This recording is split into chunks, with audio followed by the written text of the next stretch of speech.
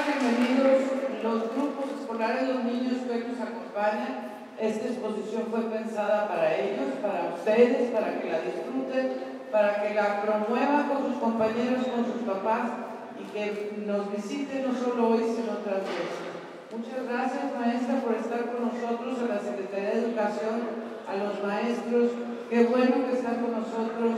Enfatizo que esta exposición la hemos pensado, la pensaron las maestras sobre todo pensando en los grupos escolares, pensando en los niños. Para ello, ya se los platicarán ellas con más detalle, hicimos énfasis en trabajar a partir de los contenidos curriculares de tal manera que al magisterio les pueda ser accesible y, más, eh, o sea, enriquezca su mirada sobre las culturas mesoamericanas y sobre el México prehispánico sea una herramienta valiosa para los aprendizajes que promueve la Secretaría de Educación a través de la currícula escolar.